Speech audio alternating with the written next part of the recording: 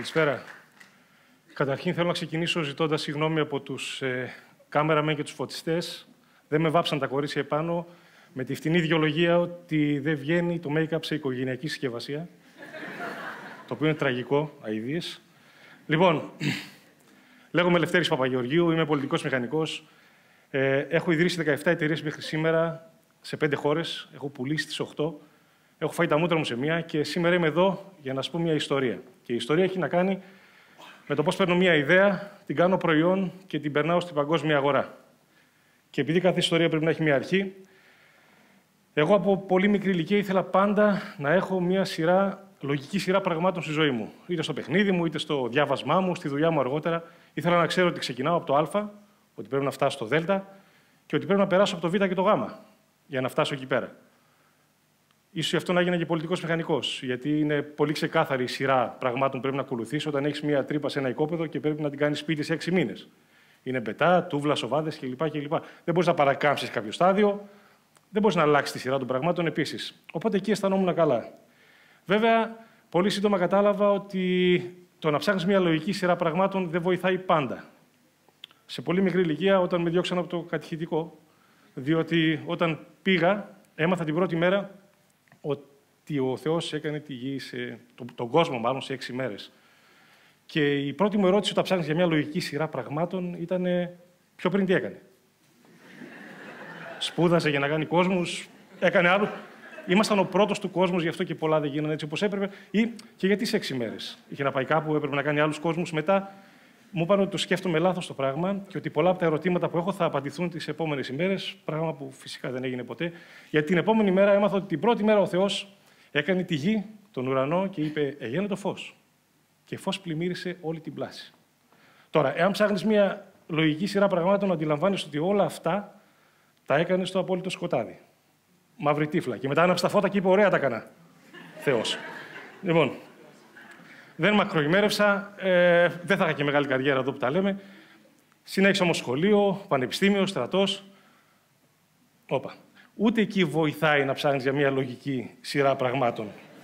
Έτσι δεν έχω χρόνο να σου πω ιστορίες, απλά με δύο λόγια ας πούμε ότι δεν τα βρήκαμε. δεν τα βρήκα. Μετά το στρατό, ιδρύω την πρώτη μου κατασκευαστική εταιρεία, η οποία κάνει ανακαινήσεις και η οποία πάει τόσο καλά που έρχονται δύο Κύπριοι επιχειρηματίες και λένε: Θέλω να κάνουμε μια εταιρεία μαζί σου και ιδρύουμε τη δεύτερη κατασκευαστική. Και το 2005 ιδρύω την τρίτη μου κατασκευαστική εταιρεία, την Nexus Constructions, με συνέτερο τον Βασίλη τον Καρά, τον τραγουδιστή. Ο μόνος λόγος για τον οποίο κάνω ειδική αναφορά σε αυτή την εταιρεία είναι ότι έχω παρατηρήσει ότι είτε μιλάω για μπρόκολα είτε μιλάω για επιχειρηματικότητα, μόλις που ο Βασίλης Καράς κατεβάζουν όλο το κινητό και αρχίζουν να μ' ακούνε. Οπότε, επειδή είναι και δύσκολη ώρα, αν δω ότι πέφτετε, θα σα το ξαναπετάξω. Έτσι να ξέρετε. Το 2006 ιδρύω έξι εταιρείες στις ανανεώσιμες πηγές ενέργειας. Το 2007 αρχίζει να πέφτει η δουλειά στην κατασκευή και σκέφτομαι τι μπορώ να κάνω για να της ξαναδώσω μια όθηση. Και τότε δημιουργώ το costonline.gr, που ήταν και νομίζω είναι ακόμα ο μοναδικός online υπολογιστής κόστους κατασκευής και ανακαίνησης στην Ελλάδα. Που φυσικά πηγαίνεις βήμα-βήμα τα στάδια, που να χτίσεις ένα σπίτι να ανακαινήσεις και σου βγάζει στο τέλος ένα ξεκάθαρο κόστος. Και όντως για μια χρονιά οι τζίροι ξανανεβαίνουν Πέφτουν όμως κάποιες στατιστικές στα χέρια μου το 2008 που δείχνουν ότι οι μηχανικοί δεν έχουμε δουλειά για τουλάχιστον 10 χρόνια. Και επειδή έχω άνθρωπο στον αριθμό, τη εμπιστεύτηκα και έτσι αποφάσισα να αλλάξω καριέρα. Και αυτό έκανα το 2009, όταν με δύο άλλους παλαβούς ιδρύσαμε την Intranet, η οποία έχει σχεδιάσει το ευκολότερο σύστημα έξυπνου σπιτιού παγκοσμίως. Γιατί το κάναμε αυτό, Γιατί και πάλι οι στατιστικές μας έδειχναν ότι ο κόσμος μας αλλάζει. Ήμασταν 7 δις πρόπερση θα γίνουμε 9,8 το 2050. Και το 50 θα δημιουργείται μια πόλη σαν την πόλη καταγωγής μου, τη Θεσσαλονίκη, κάθε μέρα. Κάθε μέρα μια Θεσσαλονίκη. Έτσι. Δεν έχει να κάνει με τα παιδιά που γεννιούνται. Αυτά κάνουν πίξ στα δύο δις και όλοι οι υπόλοιποι άνθρωποι είναι αυτοί, είμαστε εμείς. Θα ζήσουμε πολύ περισσότερο. Μάλιστα, ο πρώτος άνθρωπος που θα φτάσει στα 200 έχει ήδη γεννηθεί. Στις δυτικές κοινωνίες είναι και οι πιο πλούσιοι άνθρωποι. Είναι για αυτοί που έχουν το μεγαλύτερο προσδόκιμο ζωής. Το 92% αυτών των ανθρώπων θέλει να μείνει σπίτι του. Άρα, για μας ήταν πολύ ξεκάθαρο ότι έπρεπε να δημιουργήσουμε ένα σπίτι το οποίο να είναι full από τεχνολογία, αλλά τεχνολογία που να μπορεί ο καθένας να τη χρησιμοποιήσει. Είτε ξέρει από τεχνολογία, είτε βλέπει, είτε μπορεί να περπατήσει. Γι' αυτό λοιπόν και ξεκινήσαμε, ξέραμε ποιο είναι το προϊόν, ξέραμε την αγορά που θέλουμε να πάμε Κάναμε πολύ καλή έρευνα αγοράς. Φτιάξαμε μια εξαιρετική ομάδα ανθρώπων. Κάναμε το business plan μας και μάλιστα βρήκαμε και τα πρώτα χρήματα που θα χρειαζόμασταν. Αλλά και πάλι έμενε ένα μεγάλο κενό από τα πρώτα λεφτά που βρίσκαμε μέχρι να φτάσουμε στην αγορά. Και αποφασίσαμε λοιπόν να βγάλουμε ένα προϊόν ενδιάμεσα. Ένα προϊόν το οποίο θα μας έδινε και κάποιες περγαμηνές ως εταιρεία, ένα προϊόν που θα ήταν το πρώτο παγκοσμίως και ένα προϊόν το οποίο θα μας έδινε και τα λεφτά για να επιζήσουμε μέχρι να βγάλουμε το τελικό προϊόν. Και αυτό κάναμε με το Talk to Lift. Το Talk to Lift είναι το πρώτο και μοναδικό παγκοσμίως σύστημα φωνητικού ελέγχου ασανσέρ. Μπαίνω στο ασανσέρ, λέω που θέλω να πάω, λέω Παπαγεωργίου, λέω Intranet, λέω έχω ραντεβού με τον γιατρό και με πηγαίνει. Εξαιρετικό σύστημα για τυφλούς, για ανθρώπους σε καροτσάκια, για τον οποιοδήποτε δεν ξέρει που πάει. Μπαίνω μέσα, λέω το όνομα ενός υπαλλήλου. Μπαίνω σε ένα εμπορικό κέντρο και λέω οτιδήποτε και με πηγαίνει στο σωστό όροφο. Τον 10ο-13 το παρουσιάζουμε στην μεγαλύτερη έκθεση ανελκυστήρων του κόσμου στη Γερμανία. Μαζεύουμε τα απαραίτητα πιστοποιητικά Νοέμβριο και Δεκέμβριο και από 1η Πρώτου του 2014 ανέβηκα σε ένα αεροπλάνο και δεν έχω κατέβει έκτοτε. Μιλώντας με όλες τις εταιρείες, σε όλες τις χώρες στόχους, με όλους τους φορείς τυφλών, αναπήρων, ανθρώπων οι οποίοι είχαν κάποιο όφελος από τη δικιά μας τεχνολογία. Μάλιστα τον Απρίλιο του 2014 ονομαζόμαστε Εθνικοί Πρωταθλητές Καινοτομίας. Από τα European Business Awards. Ήμασταν η μικρότερη εταιρεία που έπαιρνε τέτοιο βραβείο. Οπότε η ομάδα πετούσε. Τον ε, Μάιο του 2014 ιδρύουμε την Αμερικάνικη Intranet και εκεί μας πλησιάζουν κάποια παλικάρια από τη Wall Street και λένε αυτή η τεχνολογία μπορεί να πάει public, μπορεί να πάει στην παράλληλη αγορά της Αμερικής για να μαζέψετε και επενδυτές.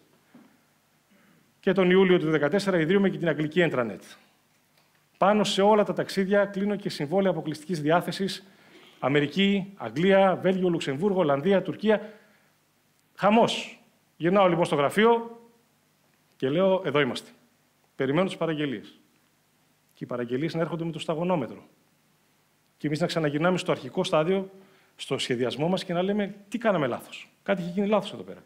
Και τελικά αποδεικνύεται ότι δεν είχαμε απαντήσει σε δύο πολύ βασικά ερωτήματα. Το πρώτο ήταν αν είναι το timing σωστό. Και το δεύτερο, ποια είναι η αντίδραση της αγοράς στην καινοτομία. Και πώ έχουμε στη δικιά μας καινοτομία. Λοιπόν, αποδεικνύεται ότι η βιομηχανία του ασανσέρ κινείται πάρα πολύ αργά. Θεωρούσαν καινοτομία όταν άλλαξαν ένα από τα σειρματόσκηνα που έχει το ασανσέρ με έναν ημάντα. Και εμείς πηγαίναμε και τους λέμε: Θα μιλάς στο ασανσέρ σου. Έτσι. Επίσης, όλοι οι άνθρωποι που δουλεύαν σε αυτή τη βιομηχανία είχαν δει όλοι ένα βίντεο δύο Σκοτσέζων κομικών στο ίντερνετ εκτός από εμάς. Ρίξτε μια ματιά. What's the buttons? Oh no, they installed voice recognition technology in this lift. I heard about this. Voice recognition technology in a lift in Scotland. You ever tried voice recognition technology? No. They don't do Scottish accents. Eleven. Could you please repeat that? Eleven. Eleven. Eleven. Eleven. Could you please repeat that? Eleven. Whose idea was this? You need to try an American accent. Eleven. Eleven. That sounds Irish, no American. What, doesn't it? Eleven. Where in America is that? Dublin. I'm sorry. Could you please repeat that? Try an English accent, right?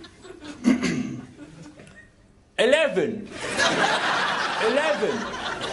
You for the same part of England as Dick Van Dyke? Listen, yours then, smart ass. Please speak slowly and clearly. Smart ass. Eleven. I'm sorry. Could you please repeat that? Please remain calm. Oh, fine. What do you want up tonight? Get up now.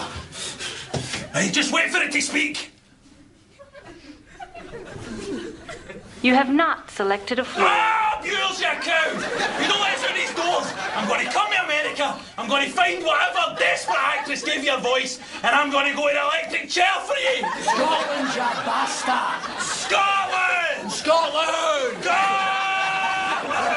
Freedom!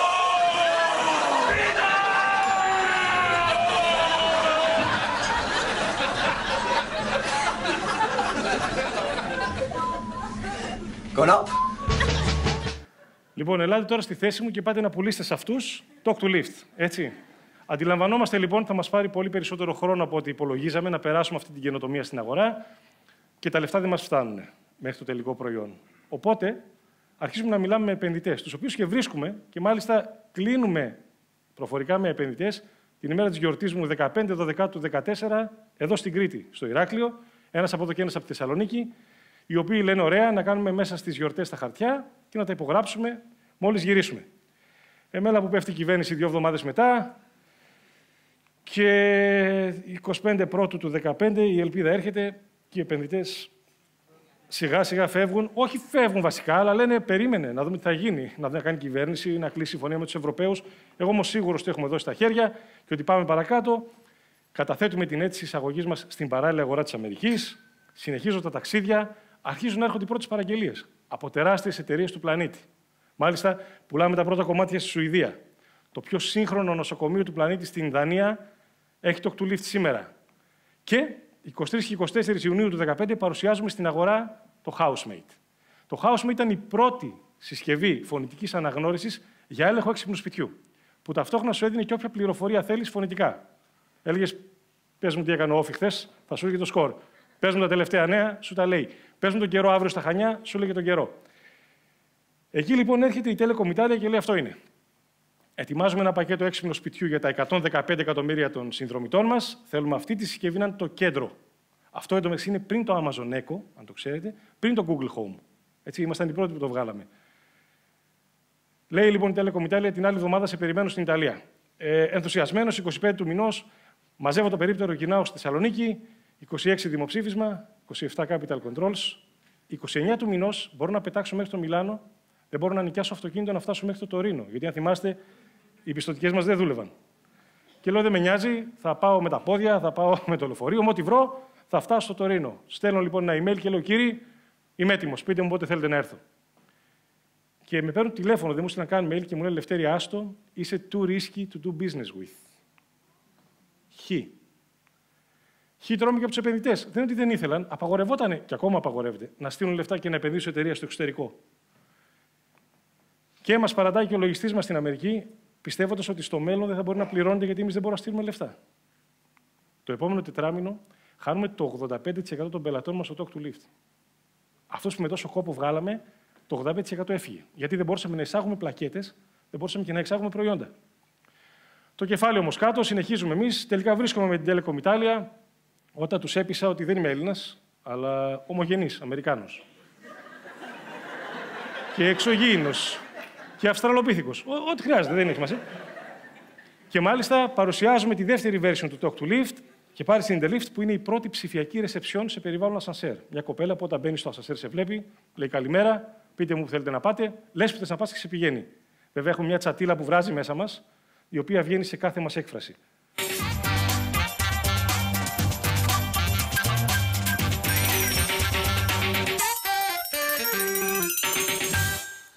Εδώ είμαστε, επιστρέψαμε και βλέπετε μία Τι εννοείς ψηφιακή καλονή αντί για εμάς. Κάτσε βρε να το πω. Η αυτή επέστρεψε, όχι εμείς. Αυτή η κυρία εκεί πέρα. Να, να είμαστε κι εμείς. Κατάλαβες, πιο ωραία είναι αυτή από εμάς. Ναι, οκ. Okay. Να τους χαιρετήσουμε λίγο με ένα τελευταίο τσεκ. Ναι, ε, βεβαίως. ναι, ναι. Ε, Επίσης έχει αρκετά περισσότερο ε, μυαλό ακόμα και από μένα θα έλεγα. Δηλαδή, Καλημέρα. Πείτε μου που θέλετε να πάτε. έχω ραντεβού με τον γιατρό. Με τι ασχολείστε; Προσπαθώ να επιχειρήσω στην Ελλάδα. Ψυχίατρος. Ψυχίατρος, ήταν το σώμα. Σήμερα βρίσκομαι στην ευχάριστη θέση να σας ανακοινώσω ότι έχουμε υλοποιήσει το ευκολότερο σύστημα έξυπνου σπιτιού στον πλανήτη.